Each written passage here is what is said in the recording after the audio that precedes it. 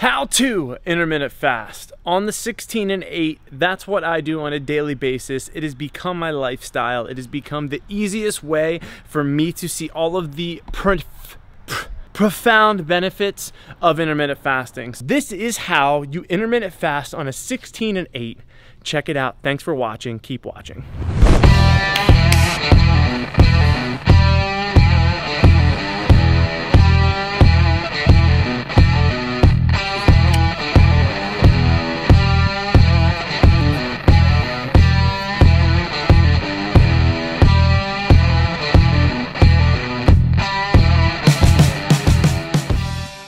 Intermittent fasting is something that you restrict the time frame that you eat on a daily basis. Most people eat for hours a day, meaning they wake up, they start eating, they have breakfast, then they eat lunch, then they eat dinner, and they have a snack. Most people eat outside of a 12 hour eating window.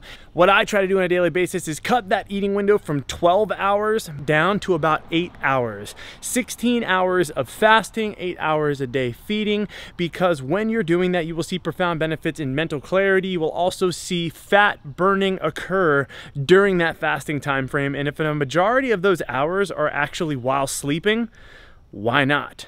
right? Today, I have not had anything yet this morning. I have had black coffee. A lot of people have raised attention to a recent Joe Rogan podcast where Dr. cannot remember what her name is right now.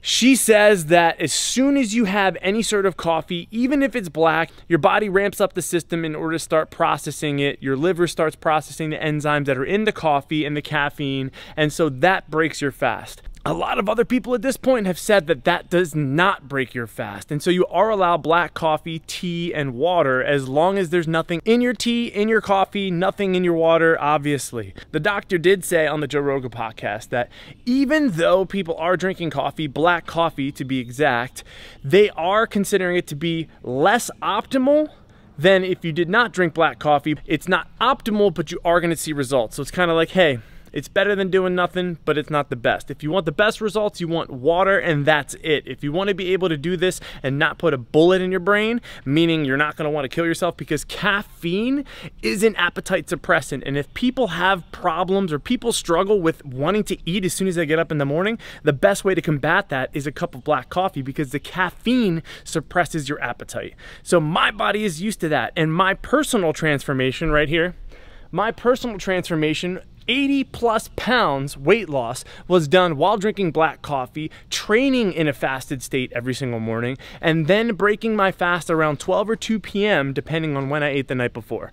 I've trained my body to intake nothing. Psychologically, I don't even crave food in the morning anymore. I don't look at food. I make my lunch for the day. Doesn't even phase me. I want nothing to do with food until around 12 p.m. And then my body kicks in and it's like, I need food. I need food now. It's a psychological game. So today I've had a cup of black coffee, and that's it. I'm gonna have coffee, coffee, coffee. I'm gonna get a cold brew at Starbucks an hour from now around 9 or 9.30 because I have to pick up a good friend in Philadelphia at the airport. I'm just gonna drive there, coffee, and when we get home probably is when we'll intake lunch, depending on what time that is.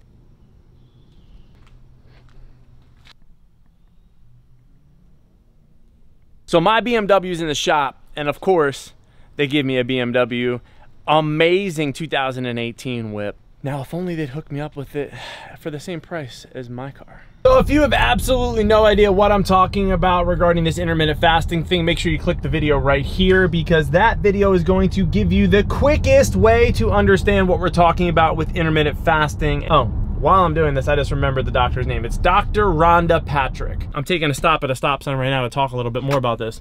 What about zero calorie drinks? What about zero calorie artificial bullshit energy drinks? To be honest, avoid them. I try to avoid them as much as humanly possible. And if I'm out of coffee for some reason and I have to do an energy drink, I will. But at the same time, it's a matter of optimal or not optimal. If you want the most optimal, quick, fat burning, weight loss results, you need to drink water only because that's what they're saying at this point. But if you want to still get by, not hate every minute of this, then intake some caffeine. Why not? We got to get to Philly. We got to get going. Intermittent fasting has completely changed my life and my lifestyle. That's the concept here. So many people hit me up and go, well, what should I do? What should I do? What should I do? Should I change my eating window to this or that? Listen, if you cannot stick to it, and if you're not gonna create a lifestyle off of intermittent fasting, it's not gonna work. You have to retrain your brain because you have trained your body like Pavlov's dog. If you don't know what that is, I'll have to link that below. The study for Pavlov's dog. So the first thing you're going to ask is why is this relevant, right? Instantly, we are always, always conditioned to just want to eat breakfast when we wake up because that's what we've done for years and years and years. I mean, since we were babies, we had a bottle in our mouth as soon as we woke up because that's what we wanted to make us feel better, to be soothed. Pavlov did exactly that, where what he did, we need to reverse condition our bodies, where Pavlov was like, hey, naturally dogs would salivate when they got food. And just watch. And if you're interested in learning more about it, you can click the video link in the description below and watch more about it. Classical conditioning is exactly what we need to reverse in this situation in order to become successful at intermittent fasting. Watch this. had discovered a fundamental type of learning called classical conditioning. An original stimulus elicits an automatic unlearned response. Both stimulus and response happen naturally. They are unconditioned. So, like I said, if that's interesting to you, watching the whole study and how he kind of figured this out and how he measured everything to find out what classical conditioning was, watch the video link in my description. Back to the video. It's basically the fact that every single day at the same time would ring a bell and then feed the dog. So the dog kind of got used to it, where he's like, okay, the dog will wake up, stretch, walk out, look at his master. His master would look at him and say, hey, buddy, are you ready to eat? Oh, it's 9 a.m. Ring the bell, feed the dog okay? So it's a process. So the dog gets used to that because we're creatures of habit. So it got to the point where anytime the guy would ring the bell or anytime at 9 a.m., the dog would just be hungry and salivating instantly. So he measured the salivation in the dog, the saliva glands or whatever you want to call it, and realized that the dog didn't even need to see food, smell food. He didn't even need the bell anymore. He just needed it to be 9 a.m. And that's what we've trained ourselves. So we're psychologically invested in food breakfast. And you have to break yourself of that. Quick update, just getting to the airport right now to pick up Brittany, my wife's friend, and still haven't had anything, just water and coffee. And I'm gonna pick her up right now and then get back home.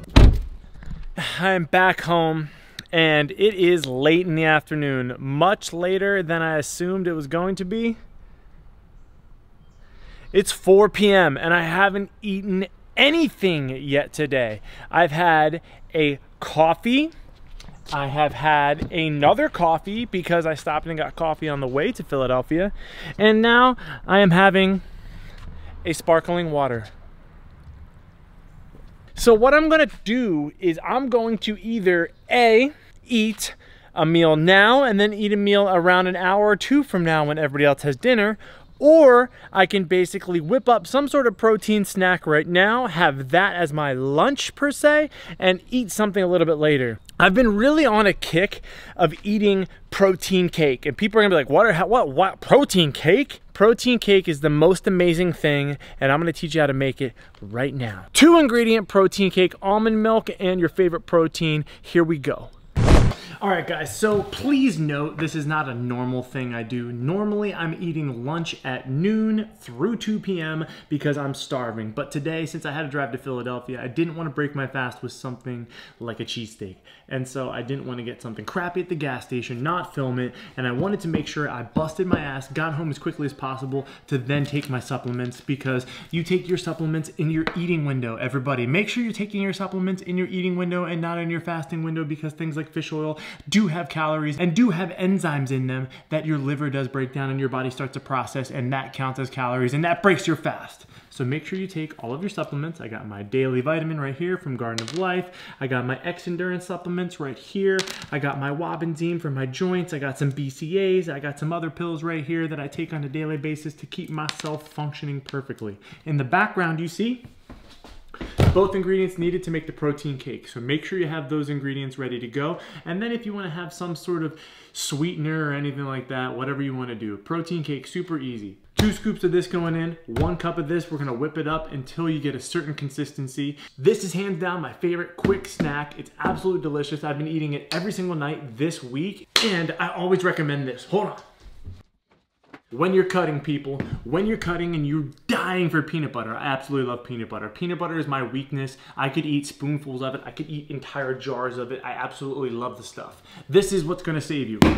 PB Fit. Right here, if you have not tried this, find it, Amazon it, get it immediately. You can take vanilla protein or chocolate protein, throw a scoop of this in there, some almond milk, whip it up, and you got a protein packed peanut butter tasting cake, and it's absolutely delicious. Here we go. No, X Endurance does not come in a jar like this. X Endurance comes in a bag. I had to make do because when I first got my X Endurance this past month, I cut in with a knife and I cut the bag wide open and there was powder everywhere.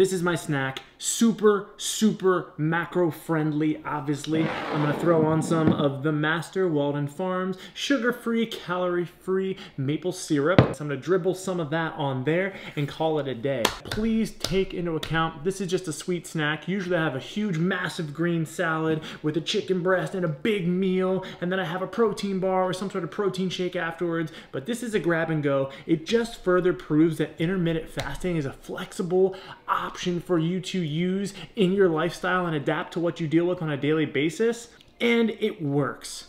If you're having any questions about this intermittent fasting thing, make sure you comment down below as well. Time to enjoy this. I cooked it a little too long. Maybe try two minutes. Maybe try two and a half minutes. If it's a little bit watery on the inside, just cook it a little bit more. This is a little overcooked, but still delicious. What I've done before is I've done this, carved out the middle of it, and then put some sort of protein ice cream like Halo Top or Enlighten or Arctic Zero. Put that in here and then wham. You got a homemade Pizookie cake, boy. The next thing you see will be dinner in three, two, one. Dinner is ready to go. We got black bean pasta, we got chicken, we have Mama Jess's no sugar added, no bullshit added tomato sauce for our amazing black bean pasta. And we have asparagus. This is going to be serving one of probably two. 716. Even if we counted the first cup of coffee I had at 7 a.m., even though I woke up at 4 a.m. to feed my daughter, I would still fall in the 12 hour fasting method that Dr. Rhonda really cares about. So I'm eating my last meal right now. I'm gonna have a snack after this and I'm done. It's all gonna be done within 30 minutes. So before 7:45 tonight, I'm gonna be done eating and I'm not gonna eat again until tomorrow at noon. That's what's amazing about intermittent fasting. Even on a crazy, upbeat, wild day today, that's not the norm. I still was able to hit the numbers I needed to, hit my macros, hit exactly what I needed to to stay on point on my cut in order to keep losing and burning that fat today while in assistance of using intermittent fasting as a tool and not a diet. That's the key. Intermittent fasting and time restricted feeding are not a diet, they are tools so you can sustain a healthy lifestyle while getting all the benefits from intermittent fasting like I spoke about earlier. Thanks so much for watching this. The next video you'll probably see me do is a one meal a day video. I'm gonna kind of do more of these just because they're educational tips and tricks to kind of see what the lifestyle looks like when doing intermittent fasting. If you enjoyed this, make sure you follow me on Instagram. It's at Curran Blevins right here. Click that. If you really like these videos, make sure you watch more by clicking this right here. It's gonna be more videos on intermittent fasting and make sure you subscribe to my YouTube by clicking the photo that looks like me. Thanks so much for watching guys. And as always, that's what we do on the Curran Blevins channel. Family, fitness, fun, the three F's. Until next time.